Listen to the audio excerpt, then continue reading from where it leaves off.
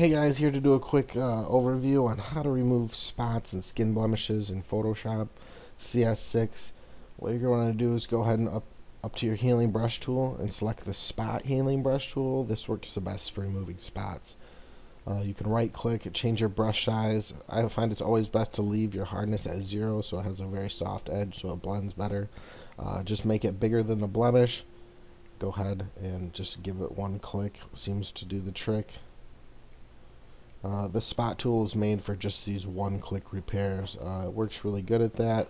What it's not very good at is when you click and drag and run it along.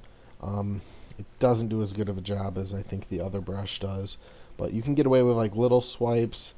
But for the most part, if you're at like the edge of a hairline or something like that, it tends to try and blend with that and make a blurred dark spot.